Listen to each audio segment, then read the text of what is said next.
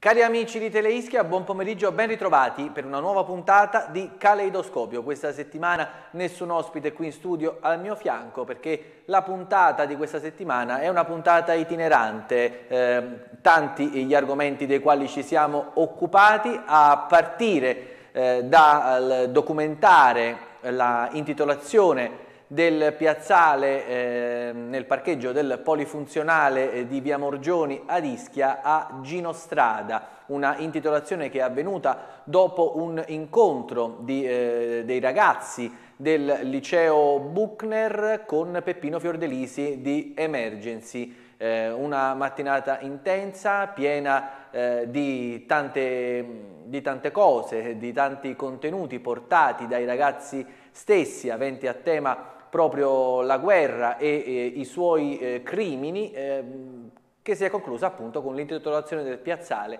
a eh, Gino Strada. Allora il primo servizio che vediamo è proprio quello relativo a lunedì mattina, vediamo con la dottoressa Alessandra Voso, direttrice e coordinatrice del Festival Storie, Archeologia e Narrazioni, questa mattina al Polifunzionale eh, per eh, partecipare ad un evento importante, ovvero l'intitolazione del, di un piazzale ad un personaggio importantissimo come Gino Strada. Il Festival Storia, Archeologia e Narrazioni perde le sue connotazioni di evento temporaneo per diventare invece un'iniziativa culturale continuata, continuativa nel tempo e assolutamente inclusiva. Questa tranche del festival che eh, vede i primi tre incontri eh, in questi giorni, quindi eh, prima delle festività natalizie, proseguirà anche una volta che gli istituti scolastici scolastici eh, riapriranno a gennaio nel corso dei prossimi mesi dunque ed è eh, appunto realizzata in collaborazione con la Regione Campania, il Comune di Ischia, il CEIC, Istituto di Studi Storici e Antropologici che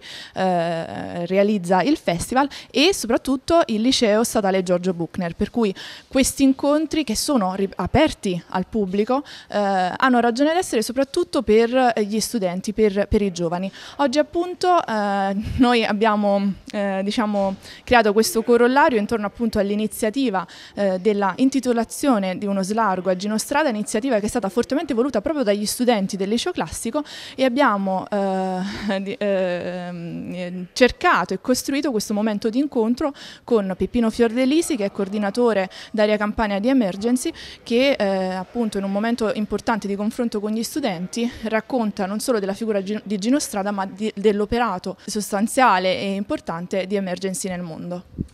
Una fase nuova per un festival in continua evoluzione, un eh, festival che si prepara probabilmente ad accompagnarci, non dico per eh, tutto l'anno, ma sicuramente per un periodo eh, molto più lungo rispetto a quello a cui siamo abituati. Assolutamente ci saranno, come anticipavo, diversi momenti di incontro nel, nel, nel corso dei prossimi mesi, fino poi allo sviluppo della quarta edizione del festival, perché siamo nel, nel, 2022 appunto ci, ci, sarà la, la, la quarta edizione di questo festival che da piccola rassegna sta crescendo e eh, vuole diventare comunque un momento di, di incontro e di confronto eh, con eh, non soltanto gli studenti ma eh, uditorio, un uditorio assolutamente ampio e vasto. Le tematiche sono non solo quella della, della storia e dell'archeologia come penso eh, abbiamo imparato appunto a conoscere ma della narrazione in, in senso lato e delle storie quotidiane di ieri e di oggi. Con il sindaco di Ischia Enzo Ferrandino questa mattina al polifunzionale per eh, un momento di incontro che precede un fatto molto importante, cioè l'intitolazione di un eh, piazzale, di un luogo eh, anche legato alle energie dei giovani a Gino Strada. Allora io devo dire eh, subito, così come ho ripetuto nel saluto introduttivo istituzionale, che noi come amministrazione siamo stati particolarmente contenti di eh, poter aderire a una richiesta che è pervenuta eh, dai giovani, dal mondo della scuola, eh, di eh, intitolare questo luogo alle spalle del ehm, liceo eh, Buchner eh, che è stato recuperato da una situazione di degrado negli ultimi anni, intitolandolo a Gino Strada. Ho ribadito che questa intitolazione secondo me eh, non deve essere incastonato ehm, in un quadro oramai retrivo di contrapposizione tra un concetto politico di destra e un concetto politico di eh, sinistra, ma è la scelta genuina, spontanea eh, di, un, um, di, una scuola, dei ragazzi di una scuola che hanno deciso di individuare in Gino Strada eh, l'icona che in qualche maniera eh, dovrà segnare il cammino della loro vita, eh, in, intesa come senso eh, di servizio da rivolgere alla collettività, alla comunità e soprattutto senso di servizio verso eh, coloro che vivono e respirano momenti di difficoltà. Gino Strada è stato un chirurgo, è stato un medico che ha dedicato la sua esistenza ad aiutare e sostenere i più deboli eh, che venivano eh, colpiti negli scenari di guerra andandoli a soccorrere e quindi a me piace eh, vedere eh, nella intuizione di questi giovani schitani la volontà di voler dedicare la loro vita ad aiutare eh, chi si trova in un momento di difficoltà a vari livelli e penso che questo sia un bel messaggio che ehm, parte dal liceo Buchner ehm, nell'ambito del nostro territorio comunale. Veramente in pochissimo tempo hanno fatto una raccolta fondi tutta da sola e, oggi venite, venite ragazzi, venite tutti quanti, vogliono fare questa donazione ad Emergency. Salite, salite. Un applauso veramente bravissimi sono stati. Dai, vieni. Eccolo qua, vieni. Questa è la nostra donna, vieni qua.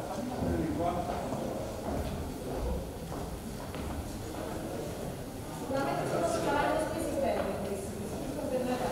Si vendi bene.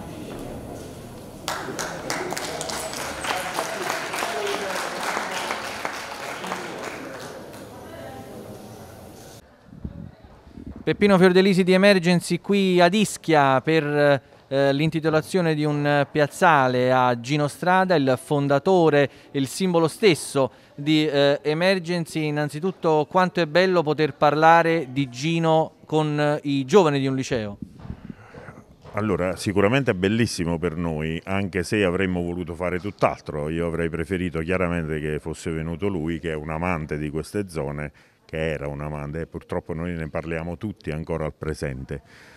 Eh, però per me è un onore venire qui e parlare di Gino e soprattutto è un onore e devo ringraziare l'amministrazione comunale, i ragazzi, la preside, per aver preso questa decisione. I ragazzi hanno spinto, il comune è stato pronto ad accettare questa proposta e non succede dovunque, ma è un segnale importantissimo. Il fatto che abbiano spinto degli alunni, dei ragazzi in questa direzione significa, almeno dal nostro punto di vista, che c'è una speranza.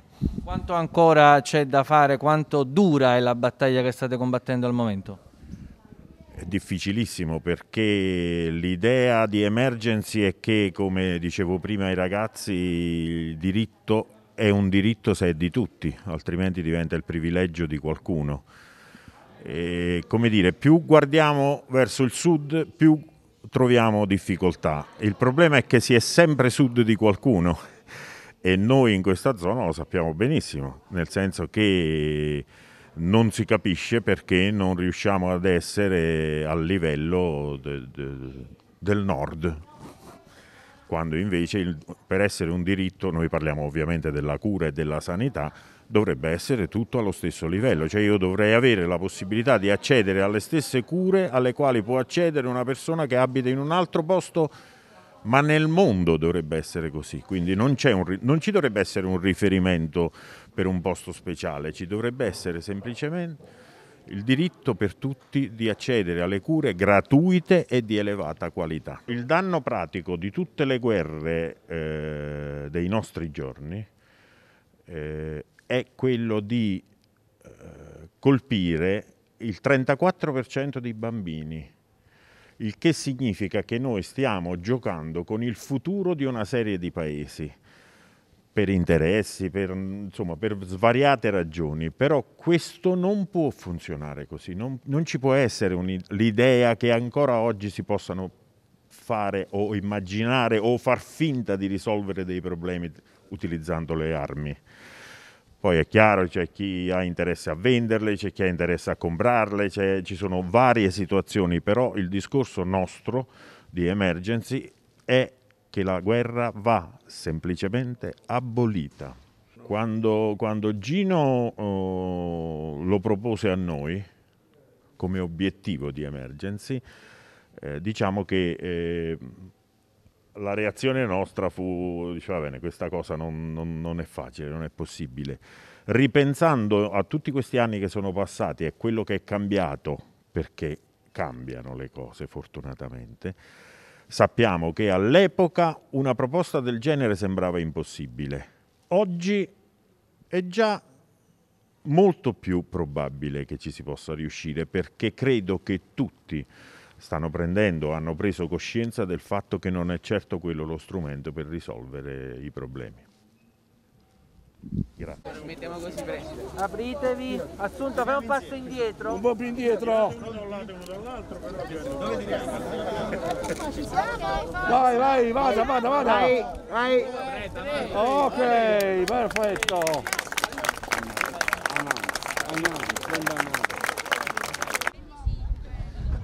Assessore, una mattina speciale qui al piazzale, ormai piazzale Gino Strada, eh, a Via Morgioni, una grande emozione soprattutto perché si tratta di un'iniziativa che è partita proprio dai ragazzi. Assolutamente sì, è partita dai ragazzi subito dopo la morte di Gino Strada ad agosto e nonostante i ragazzi fossero in vacanza hanno, grazie all'impegno della preside che ha accettato, cioè ha accolto quest'idea con grande entusiasmo, loro si sono messi all'opera per formulare questa proposta che noi come amministrazione abbiamo immediatamente recepito con entusiasmo e anche con orgoglio voglio dire. Un bel segnale anche quello di eh, appoggiare il nome di Gino Strada per, eh, per, questo posto, anche probabilmente un segnale da voler dare alle giovani generazioni, un altro eh, mito al quale potersi ispirare. Assolutamente, infatti questo l'ha detto Enzo Ferrandino il sindaco nell'intervento, questo era un posto che fino a qualche tempo fa era degradato, è stato voluto fortemente dall'amministrazione portarlo diciamo, alla, a essere fruito soprattutto dai ragazzi con il campetto e adesso eh, l'intitolazione a Gino Strada per noi è un, un faro, un qualcosa di forte che i ragazzi possono ogni giorno leggere e fruire e per noi è importantissimo perché Gino è un esempio da seguire. Marco Trofa questa mattina qui insieme ai tuoi compagni per questa iniziativa che avete fortemente voluto, c'è un piazzale adesso a Ischia dedicato a Gino Strada. Esattamente, grazie, siamo qui, quasi, ci stiamo prestando a terminare la cerimonia di inaugurazione del piazzale a Gino Strada, una, richiesta, una richiesta questa quella che, eh, che parte dal comitato studentesco. Nell'agosto scorso dopo il peggioramento della situazione in Afghanistan e poi la morte di Gino Strada, ecco noi come studenti nonostante fossimo in vacanza abbiamo sentito il dovere di fare qualcosa di simbolico che eh, rimanesse eh, ecco, come monito eh, per quello che è un, una tematica che non possiamo più eh, dimenticare, quella della guerra. Perché Gino Strada? Un po' perché si è presentato subito in quel periodo in cui tutti quanti eravamo interessati a una tematica sì, che, che sì se ne parla, ma che però poche volte ecco, eh, si fa qualcosa di concreto. Quindi capitò proprio sugli stessi social che usiamo per divertirci la notizia della scomparsa di Gino Strada, che lo ammettiamo, forse non tutti conoscevamo benissimo, poi le notizie eh, a riguardo il suo operato, la sua vita, ci hanno commosso e abbiamo trovato in lui un paradigma da seguire, da imitare. Ecco e che avete, da qui... E, ave, e avete anche poi eh, diciamo, eh, raccolto una somma, un aspetto non di poco conto perché Emergency di questo vive. Esatto. E proprio per questo è partita la nostra iniziativa, iniziativa che non poteva finire solo a un'intitolazione per quanto simbolica, ma soprattutto andava fatto qualcosa di concreto, che in pochi giorni, proprio di recente, abbiamo fatto partire una raccolta fondi, ogni liceale ha dato il proprio contributo e raggiunto, abbiamo raggiunto una somma di 1000 euro, che è considerevole perché eh, permetterà di certo all'associazione Emergency di fare eh, attività eh, positive e ne siamo contenti. La dirigente del liceo Buchner, eh, professoressa Assunta Barbieri, eh, beh, quanto è bello vivere iniziative del genere quando poi sono proposte dai ragazzi stessi. È bellissimo perché questo fa sperare in cittadini sicuramente migliori, migliori di quello, quello, che io lo dico sempre, sicuramente migliori di quello che siamo stati noi. E I ragazzi hanno mostrato una grandissima sensibilità nel voler ricordare questo quest'uomo straordinario che ha dedicato la sua vita intera per eh, portare le cure essenziali laddove sicuramente erano negate, in tutti gli scenari di guerra dove a pagarne le conseguenze sono sempre i civili, soprattutto donne e bambini, infatti l'abbiamo sentito, un terzo di, di, di, di, tutte le persone che loro hanno curato e che curano sono sempre bambini. Bambini, donne, civili innocenti che si trovano al posto sbagliato, nel momento sbagliato in posti dove purtroppo la guerra ancora oggi c'è. E chissà che non possa essere il nome di Gino Strada scritto in questo piazzale anche una piccola fonte di ispirazione per qualcuno di questi giovani. Sicuramente io me lo auguro, io spero, anzi ci tengo molto perché anche a Ischia c'è tanto da fare, c'è tanto bisogno di volontariato, Emergency lo sappiamo è un'associazione di volontariato, spero che anche qui si impari eh, l'importanza e il valore del volontariato e dell'aiuto del, del prossimo. Eh, prima di salutarci, eh, magari non ci saranno altre occasioni fino, eh, fino a Natale, eh, gli auguri della, della dirigente ai suoi studenti e perché no anche al resto della cittadinanza gli auguri che sia una, un Natale, sembra scontato ma sereno perché è importante soprattutto alla luce di tutto quello che, che sta succedendo e che mm, purtroppo ci aspettiamo, adesso già sappiamo che non, potremmo, non, ci si non ci si potrà festeggiare magari come si vuole ma non è ancora il momento, purtroppo la pandemia non è finita, non è passata, ci difendiamo, continueremo a difenderci, mi raccomando prudenza, siate sereni, passate buone feste ma soprattutto ricordatevi di mantenere sempre quei comportamenti responsabili responsabili perché noi questo Covid lo dobbiamo sconfiggere una volta per tutte. Buon Natale e buon anno! Il secondo capitolo della puntata di oggi di Caleidoscopio è un capitolo che celebra ancora una volta l'anniversario della scomparsa di eh, Pietro Greco, il giornalista, divulgatore scientifico, docente universitario, giornalista, eh, amico eh, di eh, questa emittente. Purtroppo il 18 dicembre scorso del, 2000, del 2020 è venuto a mancare eh, dopo una puntata dedicata proprio qui a Teleischia al tema delle vaccinazioni proprio a pochi giorni dall'annuncio, pochi giorni dopo l'annuncio eh, della, della prossima immissione sul mercato dei eh, sieri che hanno cambiato la storia di questa eh, pandemia, eh, però eh, venerdì eh, scorso a Napoli c'è stata la presentazione di un numero speciale della rivista Infiniti Mondi dedicata interamente a Pietro Greco, il nostro Marco Altore ha realizzato questo servizio. Direttore, un numero monografico della rivista Infiniti Mondi dedicato alla memoria di Pietro Greco che ci ha lasciato giusto un anno fa. Sì, eh, abbiamo pensato che in questo modo di dare il nostro piccolo contributo a tenere viva non solo la memoria, ma a tenere vivo eh, in qualche modo l'impegno, l'orizzonte al quale Pietro ha dedicato un'intera vita. Quell'orizzonte era l'orizzonte della libertà della scienza, della sua autonomia, la diffusione della conoscenza, la conoscenza come strumento per i più deboli, per diventare più forti, per vedere riconosciuti i propri diritti. Eh, Pietro è stato questo, un instancabile costruttore di idee, di culture e di conoscenze, un instancabile diffusore di tutto questo, una figura straordinaria, anzi lavorando alla preparazione di questo numero, eh, se fosse possibile abbiamo sentito ancora di più la mancanza. Ecco, e noi con questo numero proviamo esattamente, abbiamo chiesto a tantissimi suoi amici di raccontarcelo, lasciarci una loro testimonianza su Pietro, eh, proviamo anche noi così, ad un anno appunto dalla sua scomparsa incredibile, eh, proviamo diciamo, a tenere viva non solo la memoria ma la sua grande capacità di iniziativa e di, e di diffusione della conoscenza. La rivista ha tanti contributi, tanti ricordi.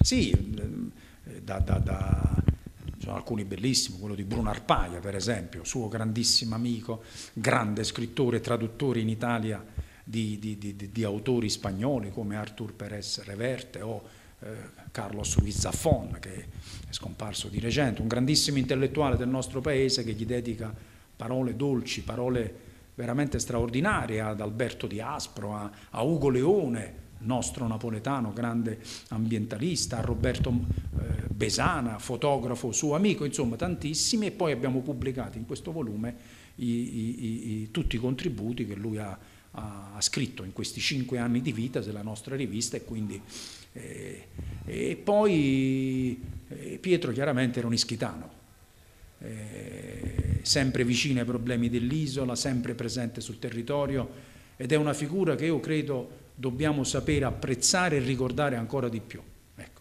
che forse in vita non ha ottenuto tutti quei riconoscimenti che meritava. Qual è il suo ricordo personale? Beh, il ricordo personale, quando ero segretario regionale dei DS, noi eh, demmo vita con l'unità un inserto campano dell'unità, la, l'articolo si chiama per due anni, uscì questo quotidiano allegato all'unità e lui lo diresse e ricordo quando ne parlammo per la prima volta, io poi lo conoscevo poco, io ho conosciuto Pietro in primo luogo attraverso gli articoli che scriveva sull'unità, poi l'ho conosciuto di persona, ero un po' intimorito da questa firma così autorevole, così prestigiosa, invece lui è veramente una grande carica umana, ecco. Quando discutemmo del, del quotidiano, come farlo, come impostarlo, veramente una grande, un vulcano anche di idee, un vulcano mite, ecco questa era la cosa, la mitezza una mitezza nella quale però si, si, intravedeva e si vedeva una grande fermezza di ideali, ecco, quegli ideali di, di cambiamento, di, di, di, giustizia nella società a cui lui è rimasto sempre coerente e fedele. Professore, nella rivista Infiniti Mondi, che ha dedicato un numero monotematico a Pietro Greco, c'è anche un suo contributo. Sì, sì eh, perché quando si parla di Pietro Greco, chi ci conosceva insieme non può fare a meno di chiedermi qualche cosa. Io sono ben felice che questo avvenga perché mi rafforza nel ricordo e nell'amicizia che è stata molto, molto densa. In questo articolo? Io cerco di, di ricordare alcune sue caratteristiche, tant'è vero che comincio col dire Pietro Greco chi era. È difficile, è difficile individuare una definizione, ma c'è una che però sono riuscito a costruire su tutte a tutte lettere Pietro Greco era un amico. Era un amico di tutti, ma aggiungo, di tutti quelli che se lo meritavano. Non tutti se lo meritavano, ma lui con garbo a questi che non lo meritavano non diceva niente, li metteva da parte, punto e basta. Pietro Greco è stato, come molti riconoscono, un grande comunicatore, un comunicatore di scienza. E ma bisogna stare attenti. Io, anche io sono un comunicatore, nel senso che leggo, imparo e dico a terzi, scrivendolo, parlando. Pietro Greco faceva questo però con la, con, con, sapendo quello che diceva, non se lo doveva imparare, non doveva leggere e quindi conosceva quello che diceva, conosceva le persone. Di conseguenza, quando si organizzava una cosa, lui sapeva benissimo a chi rivolgersi e le persone alle quali si rivolgeva chiedendogli, chiedendogli un contributo non dicevano mai di no. Giornalista che ha vissuto e raccontato anche la politica regionale e nazionale di origini ischitane. Sì, sì, e lui non ha mai tradito le sue radici ischitane, anche se i genitori erano di origine calabrese, ma un anche se che non significa niente. Per caso, per così è nata a Ischia e si è sentito subito ischitano, tanto da arrivare anche a tentare, una cosa che non gli è riuscita, la facemmo insieme, il riconoscimento di Ischia come patrimonio dell'umanità dall'UNESCO. Non è stata mai presentata questa richiesta perché è molto difficile, adesso per altri mesi si sta tentando, ma quella è una delle poche cose che ha tentato inutilmente di portare avanti. E magari proprio nel nome di Pietro Greco questa iniziativa potrebbe essere ripresa. Questa iniziativa certamente sarà ripresa, lo sarà per un ambito molto più ristretto rispetto all'intera isola, perché non ha trovato molto consenso. Ecco, nel resto, nel, quindi si, si, concentrerà, per così dire, in una piccola area, piccola geograficamente, ma molto importante dal punto di vista eh, storico, scientifico, archeologico, che riguarda il castello e l'aria circostante, ecco dico, non sono autorizzato a dire di più. E, e si spera che in questo l'UNESCO, io dico una cosa, l'UNESCO non avrebbe bisogno di essere stimolato a riconoscere attraverso una serie di carte, eccetera, che Ischia potrebbe diventare il patrimonio dell'UNESCO, perché dovrebbe di sua iniziativa dire ma come non lo è ancora? Vabbè. E certo sarebbe molto bello se questa iniziativa poi sfociasse in un'area dedicata a Pietro Greco. Come si rapportava ai giovani colleghi un punto di riferimento del giornalismo come Pietro Greco? Guardi, Pietro è stato un insegnante nel DNA, per così dire. Lui ha fondato una cosa che si chiama scienza, scuola e società. Ecco che sono tre tappe di un itinerario che ha seguito per tutta la vita. E scuola, i giovani sono stati un'importante presenza.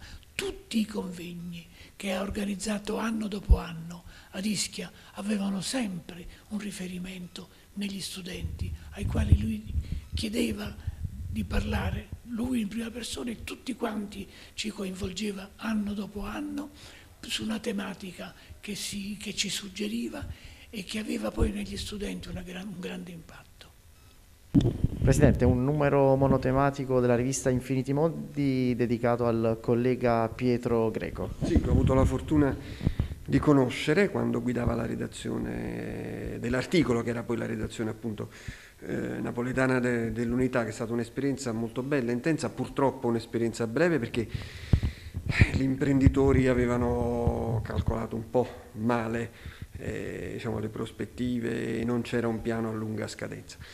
Eh, un uomo di grandissima cultura, che però ti metteva a tuo agio appena tu lo incontravi, lo conoscevi, lo conobbi appunto proprio nella redazione quando andai a trovare lui e tutti i ragazzi dell'epoca, eh, Massimiliano Amato, tanti, tantissimi amici, Montanaro, Gualfardo Montanari, Antonio Montanaro, eh, Fabio Iannicello, tanti. Ilaria Perrelli, c'era una, era una bella redazione che è durata poco. Eh, peccato perché era un giornale che puntava molto sulla, sulla, sulla riflessione, sul pensiero diciamo, critico, sulle idee, lo spazio ci, ci sarebbe stato. Dicevo, però un, un, diciamo, un, ragionamento, non ci fu un ragionamento di largo respiro. Ecco. Un giornalista dedicato alla scienza che ha lasciato un buon ricordo. Che ha lasciato, ha lasciato un ottimo ricordo, un giornalista culturale. Eh, la sua esperienza a Napoli purtroppo è stata breve, ma lui ha lasciato comunque un segno indelebile e, e bene ha fatto Infiniti Mondi a dedicare proprio un numero speciale interamente eh, su Pietro Greco, un, bellissimo regalo non solo per il Natale, ma per, per la memoria, per la memoria storica di questa città e dell'informazione.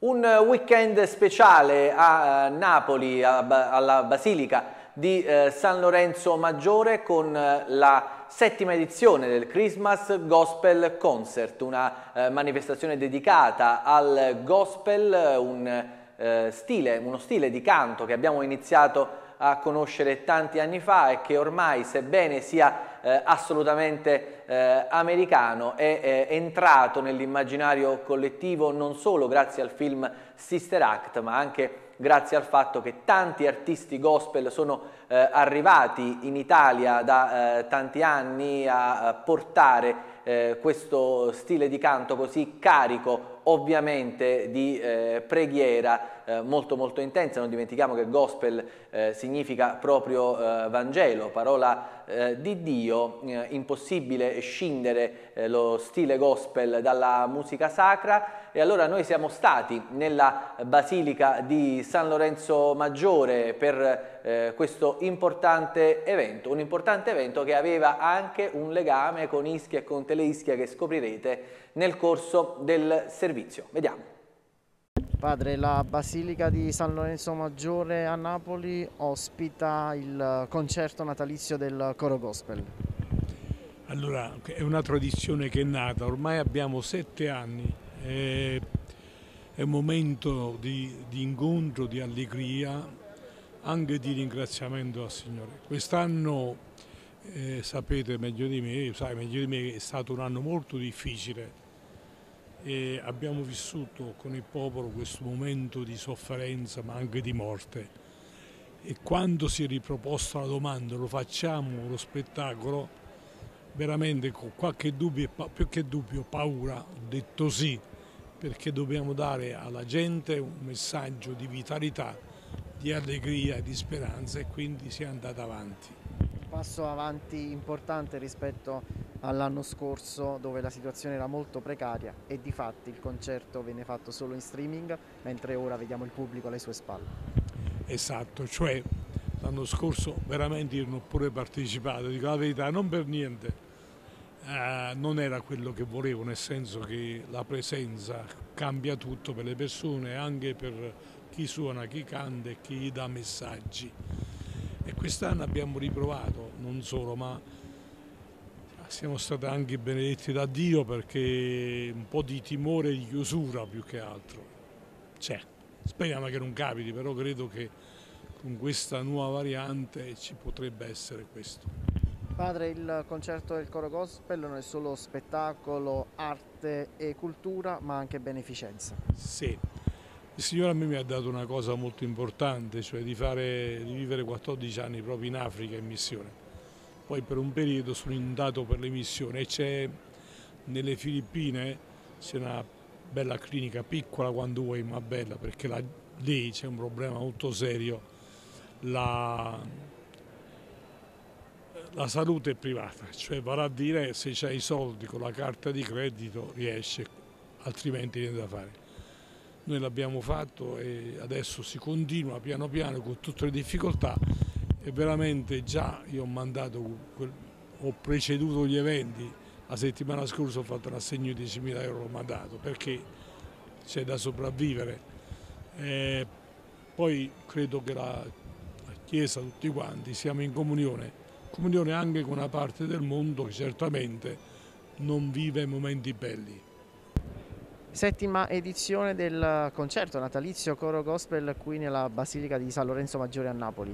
Sì, settima edizione bellissima, per noi è il quarto anno che partecipiamo a questo evento straordinario, ci riempie l'anima, il cuore, è veramente l'evento più atteso qui nella città nel periodo di Natale per poter ascoltare il gospel, quello vero che viene dall'America e anche quello che facciamo noi qui nella nostra terra, insomma umilmente ma con tanta tanta dedizione e tanto amore. Tante voci durante il concerto, voci nostrane ma come si diceva anche di lingua inglese. Sì, sì, sì, sì, sì. Ci, ci, sono i Millennium Choir, siamo noi, Rita Ceccarelli con i Flowing Gospel, il mio coro e soprattutto c'è mm, insomma, una grande, grande voce nostra italiana che è Karima e insomma veramente, veramente quest'anno un, una settima edizione pazzesca.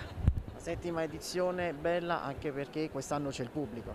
Quest'anno c'è il pubblico, sì, un'emozione enorme, veramente, veramente un'emozione fortissima. L'anno scorso eh, forse molti di voi ci hanno ecco, guardati online, quest'anno possiamo guardarvi negli occhi e possiamo godere della vostra partecipazione e quindi veramente veramente un'emozione enorme, grazie. Ci può spiegare cosa eh, c'è dietro il coro gospel, il lavoro che fate di preparazione? Sì, un grande lavoro un lavoro che noi facciamo quotidianamente, siamo veramente sempre in contatto per, per, rinnovarci, per imparare nuovi canti, ci vediamo costantemente, una volta a settimana proviamo, sotto diciamo, il tour di Natale ci vediamo anche più volte durante la settimana, c'è un lavoro enorme ma soprattutto c'è un, un grande lavoro umano perché questa musica eh, ha bisogno di tanta umanità, di avere un legame forte tra le persone,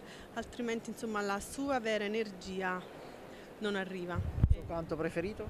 Il mio canto preferito è un canto che si chiama Change Me, che è un canto proprio gospel americano cantato da Tamela Mann, una grandissima worshipper americana, e dice appunto Signore cambiami, cambiami e rendimi sempre più simile a te, puliscimi, e fai in modo che io possa ecco, camminare per la tua via come tu desideri.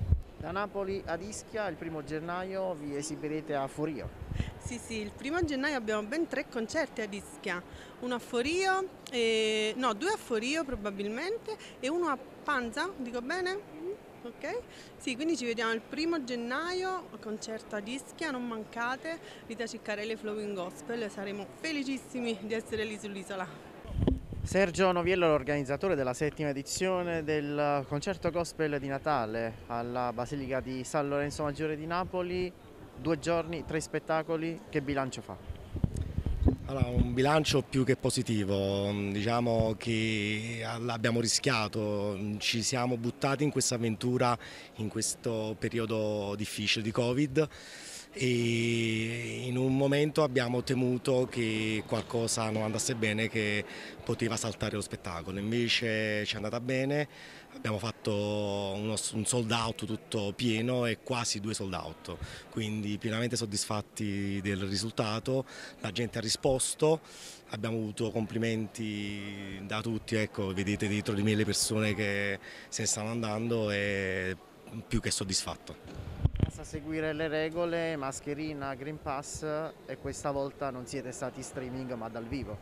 No, eh, naturalmente mascherina, Green Pass, sanificazione eh, prima di, dello spettacolo per mettere tutto a norma e per rendere lo spettacolo sicuro. Naturalmente, come dicevo prima, stiamo in un momento difficile, facciamo la nostra parte mh, come organizzatori e come diciamo, organizzatori di, questi, di eventi dobbiamo per forza, ma per forza diciamo, non è un, un nostro, uh, cioè ci fa piacere rispettare tutte le regole per far sì che, si, che le persone stiano al sicuro. C'era voglia di stare insieme, c'era voglia di ascoltare anche buona musica da parte del pubblico. Dopo un anno e mezzo di stop, di eventi fermi, di vita notturna bloccata, le persone vogliono vivere, vogliono uscire, vogliono emozionarsi e uh, vogliono in tutti i modi vivere, come dicevo prima, sì, vivere cast di livello con uh, artisti uh, anche di uh, respiro internazionale. Sì, ogni anno comunque noi cerchiamo di, di portare dicevo questa è la settima edizione, ogni anno cerchiamo di portare degli artisti internazionali, il gospel è americano e quindi il, pri, il, primo gruppo che cerchiamo di far venire sono gruppi americani. Come dicevo prima in questo periodo è difficile uh, far venire delle persone, uh, dei, degli artisti da fuori, questa volta diciamo, ci, diciamo, ci, siamo riusciti a portare uh, Maisha e um, il gruppo americano e, e niente. Nell'intera squadra che lei ha coordinato in questi giorni anche il nostro collega di Teleischia Claudio Iacono. Claudio, eh, io dico sempre squadra vincente non si cambia, uh, Claudio sta con noi uh, da penso 4-5 edizioni, quindi è nostra, il nostro presentatore ufficiale e sicuramente ci saranno altre date con lui. Ultimo capitolo, ma non per questo meno importante, la presentazione eh, di eh, ieri pomeriggio, lunedì, ad Ischia, del nuovo libro di eh, Valeria Di Meglio, Amma Cucenà, un libro dedicato a eh, ricette e storie di cucina direttamente dall'isola di Procida, dalla presentazione alla Biblioteca Antoniana con eh, Ciro Cenatiempo. Con questo ci salutiamo e vi do appuntamento alla prossima settimana.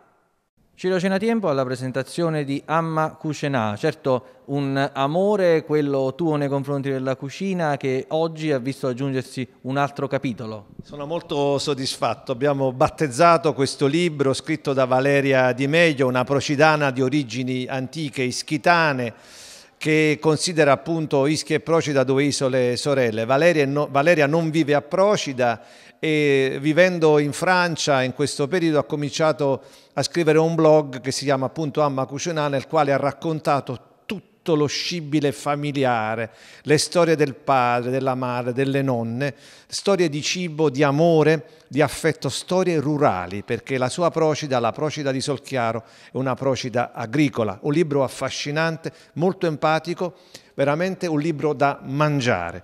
E le ricette sono soltanto il contorno di storie, aneddoti, suoni, odori, memorie olfattive e memorie che emozionano.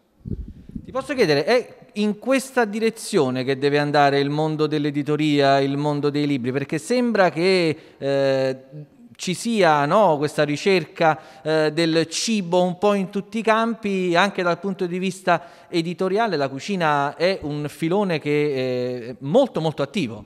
La cucina è un filone attivo a patto e condizione che si racconti in questo modo. Le storie di narrazione, eh, Valeria lo dice, io rivendico la soggettività della narrazione. Lei è la protagonista di queste storie, da bambina e poi da adulta, e rivendica a sé il fatto che sia lei a scriverne. In genere i libri di cucina sono scritti da studiosi, ma non sono scritti da quelli che cucinano sul serio, perché le ricette vengono confezionate insieme ad altri. Allora l'effervescenza di questo libro di Amma Cucinà e anche la sua originalità. Un libro unico perché non sposa le le mode, non va nel mainstream dei libri di gastronomia e molto di più è un piccolo trattato di antropologia, è un piccolo trattato di memoria vivente e ci racconta la necessità, appunto perché c'è un grande boom dei libri di cucina, ma non da adesso, da tanti anni, del resto c'è una sorta di trattoria mediatica, ci racconta la necessità di conservare un rapporto con il cibo che sia univoco e allo stesso tempo collettivo. La convivialità è vivere insieme e questa ci aiuta a superare la solitudine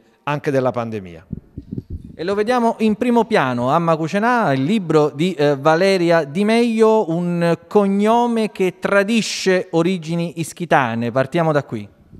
Sì, il cognome di Meglio è il cognome di mio nonno paterno che era di Ischia, eh, ma io sono procitana da generazioni, nata a Napoli perché insomma negli anni 70 non era possibile eh, nascere a Procida e uh, vivo a Lille in Francia da vari anni, però um, torno molto spesso a Procida, ci passo lunghi periodi, soprattutto da uh, quando c'è eh, insomma, la pandemia, riesco a essere in smart working per lunghi mesi. Eh, l'idea di mettere insieme eh, tutte queste ricette, tutte queste storie di cucina in buona sostanza, come nasce?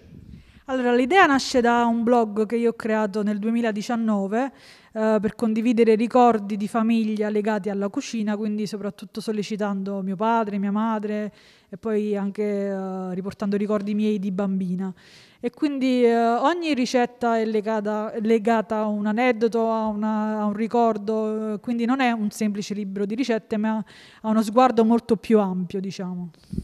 Uno sguardo molto ampio che guarda alla tradizione eh, procidana eh, perché eh, in buona sostanza ogni territorio, verrebbe da dire quasi ogni contrada, se prendiamo ad esempio le isole di eh, Procida e Ischia anche, hanno eh, quelle tradizioni che sono proprie.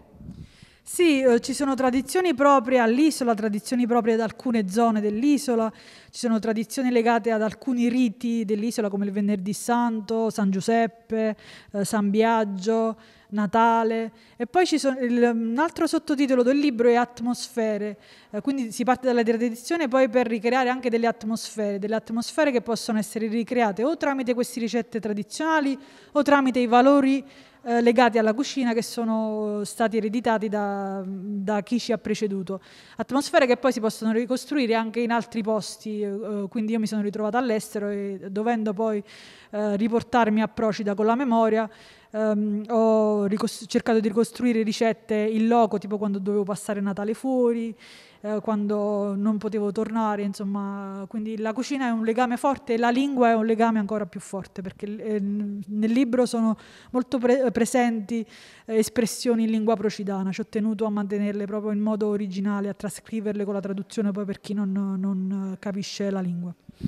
Va bene le ricette, va bene eh, la lingua, però immagino che eh, a, a, Lille, per esempio, non sia così facile riproporre eh, una ricetta procidana perché eh, ci vogliono anche gli ingredienti. Vediamo ad esempio i limoni sulla, sulla copertina del tuo libro, ma non solo i limoni, ecco.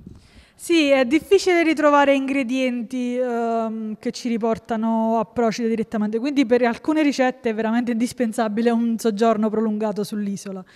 Uh, ci sono ricette che si possono riprodurre, uh, tipo banalmente la pizza di scarole o il baccalà fritto, uh, tipo se uno si ritrova a passare Natale fuori, ma ci sono altre ricette tipo con vegetali molto specifici di Procida che mh, mm, non sono reperibili altrove.